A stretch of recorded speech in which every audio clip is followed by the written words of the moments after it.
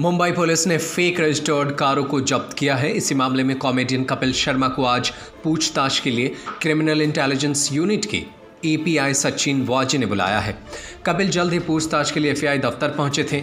मिली जानकारी के अनुसार कॉमेडियन कपिल शर्मा को मुंबई पुलिस की क्राइम ब्रांच ने समन भेजा था। ये मामला कार डिज़ाइनर दिलीप छबाड़िया के खिलाफ दर्ज धोखाधड़ी के केस से जुड़ा हुआ है। दरअसल कपिल शर्मा ने कार डिज़ाइनर कपिल छबाड़िया के खिलाफ केस दर्ज कराया था। कपिल ने दिलीप पर धोखाधड़ी का आरोप लगाया था। अब उन्हें गवाह के तौर पर बयान दर्ज करने के लिए बुलाया गया है। ये जानकारी मुंबई पुलिस ने दी है। अब तक इस मामले पर कपिल की ओर से प्रतिक्रिया भी आई है। फ़िलहाल आधिकारिक बयान आने के बाद ही पूरा मामला साफ़ होगा। बता दें कि कपिल शर्मा शो लोगों के बीच काफ़ी पॉपुलर है। शो का नाम द कपिल शर्मा शो है। कपिल शर्मा अपने इस शो से लोगों को खूब हँसी का डोज देते हैं। भारती सिंह का नाम ड्रग केस में आने के बाद भी कपिल शर्मा शो में चर्चा आ गए थे।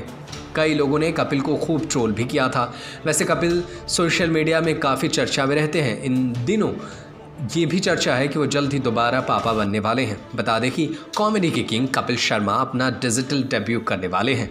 कॉमेडियन एक्टर कपिल शर्मा ने सोमवार को ट्विटर के ज़रिए इस बात की जानकारी दी थी। कपिल ने लिखा था कि शुभ समाचार को इंग्लिश में क्या कहते हैं। कृपया ज़रूर बताएँ।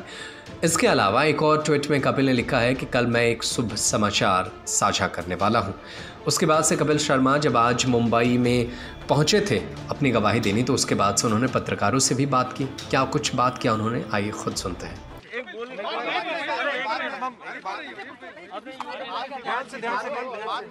यार आप आप आराम से बात करेंगे तो मैं बोलूँगा। नहीं तो ऐसे वो लेडी बेचारी उनको धक्के लग रहे हैं सर। आपने यूडब्ल्यू में शिकायत की थी? जी जी जी। किस विषय किस विषय में क्या कुछ यहाँ पे पुलिस बुलाया था सर एक केस था मेरी वैनिटी वैन का जो हमने अ, 2017 में ऑर्डर करी थी।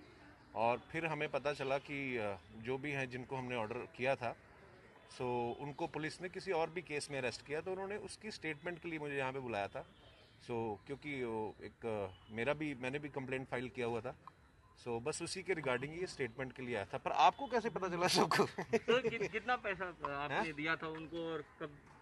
मैं आपको आप दिला दोगे मेरे को पैसे वापस? ज़रूर दिलाएँगे नहीं नहीं नहीं, तो मैं मेरे को अभी मिलने दीजिए तो मुझे पता नहीं है। मैं बाद में मिलता हूँ। अरे बेटा हट जा हट जा।